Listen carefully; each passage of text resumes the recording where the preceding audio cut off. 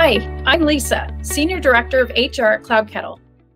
There are many great careers available within the Salesforce ecosystem and across a variety of industries and companies, including CloudKettle. With so many opportunities available, a common question that comes up is not only how to recruit great people, but also how to retain them. Here are four things that we do that have helped us maintain an 86% retention rate in our organization. Good onboarding.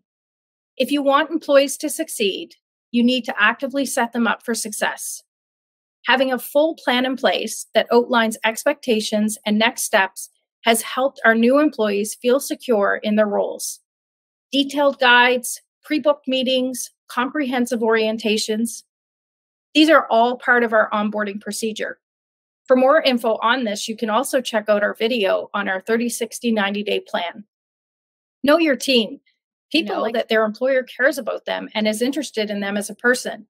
We have all employees fill out a survey when they start, which tells us important information about them.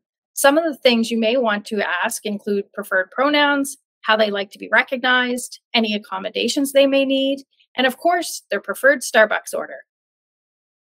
Give your team a chance to know each other.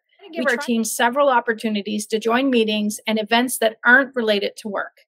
Coffee chats, lunch and learns, trivia games, virtual and in person events give our teams a chance to connect. Flexibility. The days of the strict nine to five and making sure everyone is physically present in your corporate office are over.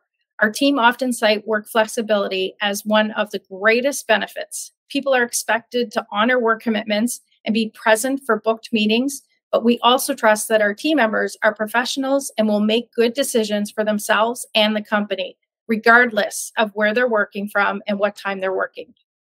And those are only a few of the things we do to help our employees thrive in our organization. We hope you found this video useful. Thanks for watching.